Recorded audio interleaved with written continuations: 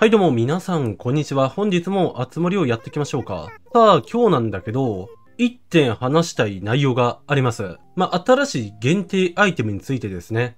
まあ、家具っていうか、多分これ限定アイテムっていう言い方の方が正しいんかな。まあ、具体的には、カラフルなスティックライトっていうやつがあるんですが、今日はね、そちらについて語っていければなと思いますね。まあ、通常のスティックライトって皆さん知ってると思うんですが、カラフルなスティックライトって多分聞いたことないよね。うわめっちゃ雨降ってる。むちゃくちゃ雨降ってますね。すーげえな。なんか久しぶりに雨降ってる気がするわ。ここ最近ですね、まあ、リアルの世界でもそうなんですが、あんまり雨が降ってなかったんで、結構新鮮だな。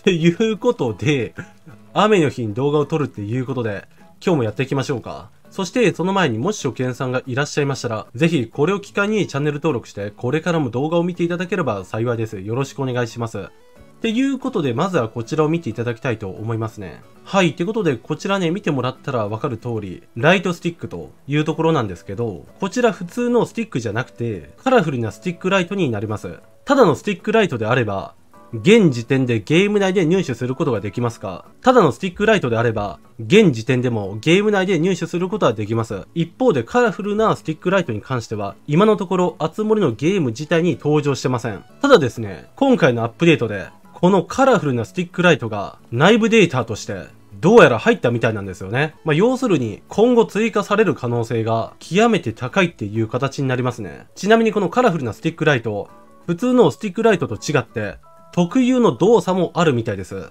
まあ、具体的にどういった動作かって言われると、まだ手元にないのでわかりませんが、特別なモーションが3つも用意されてるみたいですね。例えば普通のスティックライトの場合だと、おそらく振るだけだと思うんだけど、ただカラフルなスティックライトの場合は、多分ね、色を変えることが途中でできるのかなまあ、現時点で赤、オレンジ、黄色、緑、紫、ピンク、白。この色で振ることが確定してるわけなんだけど、ただどのタイミングでカラーが変わるのかっていうところはまだ分かってません。まあ、おそらくですね、今年のカウントダウンイベントで入手することができるんじゃないかなと思ってますね。もちろんまだアップデート自体は入ってないんで、リアルタイムでカウントダウンのイベントを経験しないとおそらくゲットすることができないと思うんですが、2021年の年越しイベント、案内所に静江さんがいると思うんですが、その静江さんに話しかけると、去年同様、スティックライトがゲットできて、で、それが今年はカラフルなスティックライトっていう形になってるっていう話ですね。去年であればスティックライトもらうことができたんですが、あれってね、空張りがなかったんですよ。黄色のみだったんで、まあ、カラフルなっていうところで、まあ、これに関しては非常に嬉しい内容ではないでしょうか。まあ、具体的にどういった形で色を切り替えるのか、それともリメイクで色を変更することができるのか、はたまた一つのスティックが7色に自動的に切り替わって光っていくのか、そこについてもわかりませんが、いやー、けど、どうなるかっていうところは非常に楽しみなところですよ。まあ、スティックライトに関しては前々から、なんで空張りがないんだ？もっと他の色はないのか？っていうことが言われ続けていたんで、まあ、個人的には良かったんじゃないかなと思いますね。まあ、カウントダウンイベントっていうことで、まだもうちょっと先の話になりますが、ただ言ってもそんなにか、10月、11月、12月だから、残り3ヶ月で年明け、うわマジで？全然実感湧かなかったわ。怖っマジで言ってんのか残り3ヶ月で、なんと年明けですよ。全然実感湧かないけど、マジですげえよな。いやー、本当に言ってんのか。え、皆さん実感湧きますか？え、残り3ヶ月で2021年終わっちゃうの ?2022 年に突入するのか？信じられねえわ。おミスズやってきたね。っていうことで、まあ、今日はそういったお話だったわけなんですが、いやー、本当に、スティックライト、このタイミングでやってくるんだ。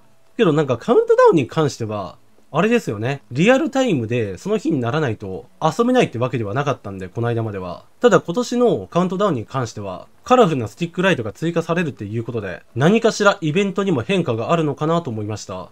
まあ、どういった変化かって言われると難しいところなんですが、まあ、そこも含めて楽しみですね。さあ、そういったところで、ブーケとクリスティーヌの会話が始まったんで、こちら見ていきましょうか。うん、見た見た、今回のワンピ特集超やばかった。なんか雑誌の話か。なんかたまに雑誌の話してるよね。全部いけてたよね。秋のめちゃモテワンピ特集。どういうワンピ特集？マジで参考になったわ。ねえ、お兄は雑誌でどんな特集が好き？いや、俺雑誌見ないんだわ。ごめんな。全く見ないからさ。独自モデルの私物紹介、着回しコーデ。なんかこのパターン前もなかったっけ？確か去年あった気がするわ。え、どっちでもいいんだけどこれ。正直どっちでもいいわ。わかる値が気になったアイテムは、ハニワリップグロス。ハニワリップグロスってなんだ？あれ、埴輪型ケースのバリエがめちゃくちゃあるんだよね。ネットでポチっちゃおうかないや、ポチったらいいじゃん。買ったらいいやん、買ったら。あん、あたいもそれ気になってたの。まねっこしてもいいかなもちろんだよ。あ、じゃあ、ブーケちゃんの分もついでに買っといてあげるよ。お、優しいね。俺の分も買ってくれよ。いや、いらないけどさ。普通にいらねえけど。いや、けど、会話のバリエーションも、なんだかんだ言って増えたよな。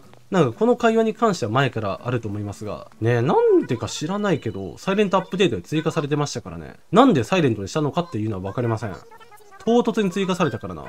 おそして、クリスティーナやってきた。ねえねえ、お兄は学生ニートちゃんの趣味のことしてたりする？お、知ってるぜあ、やっぱ知ってるんだ。そうだよね。お兄と学生ニートちゃんって仲良しだもんね。お互いリスペクトしてるって感じ。そういう関係憧れるなぁそうか。そうか。別に同一人物だから何とも思わないんだけど、どうなんだろうな。まあ、俺のもう一つの人格みたいな感じよ、サブキャラだから。まあ、サブキャラだからな。なんとも言えないところですね。はい。いやー、てかさ、もう9月も終わりか。もう終わりっすよ。10月ですよ、10月。ハロウィンですよ、ハロウィン。けど、ハロウィンのイベントって言われても、まあ、去年体験してるから、改めて何か体験したい内容があるかって言われると、難しいところではあるよな。うん。特になんか、これといったトピックスってないからな。まあ、今までもそうなんだけど、イベント自体に何か手こ入れが入ったかって言われると、そういったわけじゃないからさ。まあ、例えば、もらえる家具とかが変化するとか、追加されるとか、まあ、そういったところはあったんですが、イベントに手こ入れはないからね。まあ、イベントに手こ入れがあれば、ね、よりいいと思うんですが、ただこのゲーム、イベント自体に手こ入れはないんですよ。ちょっとそこは残念なところではありますね。おそしてどうした？フランスは確か来月の1日のはず。忘れないようにスケジュール帳に書き込んでおかなきゃかねくれい。ええー、お前なかなか優しいな。ふふふなかなか優しいですね。けど、ジャックか。ジャックもうちの島に来て結構経ったよな。下手したらもう最高さんレベルか。ジャックで思い出したけど、なんかこの間の動画で離島ガチャ久しぶりにやろうかなみたいな感じで言っていたんですが、離島ガチャどうしようかな。けどなんかさ、今いる住民たち、俺愛着結構湧いてるんだよね。結構愛着湧いてるからさ、なんかこのままでもいいかなと思ってたりするわ。正直ね、このままでもいいですよね。住民の入れ替えって特に必要ないかなと思っていて。なんか前まではさ、まあ、たまに入れ替えはしてたんですよ。やっぱり新しい空気を取り入れることによって、ね、なんだろう。まあ、気分が変わるというか、まあ、クラス替えみたいな感じですよ。ね。まあ、そんな感じで思っていたんですけど、ただね、なんか、これはこれでいいんじゃないかなって最近思ってるわ。特にですね、離島ガチャなんて、もう、7ヶ月ぐらいしてないでしょいや、もっとしてないか。下手したら、丸々1年ぐらいやってないか。いや、それは言い過ぎか。え、どうだっけな。けどね、それに近いぐらいやってない記憶があるわ。最後にやったのいつだろうっていうことでクリスティーヌと、離島ガチャってなんか懐かしいな。なんか去年はやたら流行ってましたよね、離島ガチャ。まあ、今年も流行ってんのかわかんないけどさ。うん、けどどうなんだろう、離島ガチャって結構、あれですからね。まあ、単純っていうか、単発っていうか、まあ、単発であれば全然ね、いいと思うんですが、長期的にやるのはなっていう感じ。お、この間天ぷらそばの写真を撮るときに、ポップフィルターを使ったの。ポップフィルター。なるほどね。なんかスノー的な感じかもしれないね。お料理が5倍ぐらい美味しく見える。いや、5倍は盛りすぎじゃないか。まあ、せいぜい1.2、3倍とかじゃないの。まあ、せいぜいね。マジですると。マジでするとそれぐらいな気がするけど。でも、あたいの口の周りについた食べこぼしまでははっきり映っちゃってたの。えー、誰かに見せる前でよかった。どういう内容？その内容必要だったか？いや、俺はいまいちよくわからないけどさ。その内容必要か？アンシャボー、今日もバッチリいけてるね。おありがとうよ。バッチリいけてるだろう。雨の日でも気分上げてくよ。シャボーには特別にあたいの元気分けてあげるね。ありがとう。ありがとうございます。なんか元気になった気がするわ。なんか若干元気になった気がするよな。けど、本当に、雨の日に動画撮るのってめっちゃ久しぶりだな。まあ大体いつも晴れてますからね。まあ晴れてるっていうか別に、なんだろうな。まあ仕組んでるってわけじゃなくて うん、なんか晴れの日ばっかりなんですよね。まあ晴れ男ってわけじゃないと思うんだけど、あんまり雨の日ってない気がするわ。で、なんか掘り出し物あるかな。掘り出し物あるかちょっと見に来たんだけど、これ結構さ、使いやすそうな感じするよな。講義室の机。まあ、厚盛の世界ではあんまり使わないんだけど、なんかあれじゃないですか。リアルの世界では結構使えそうな感じがしますね。一方でこちら、ベッドデスク。これもこれで結構使えますね。で、こちら7700ベル。7700って結構高いよなこれ。結構高いイメージがありますね。はい。ということで、今日の動画この辺りで終わっていきましょうかね。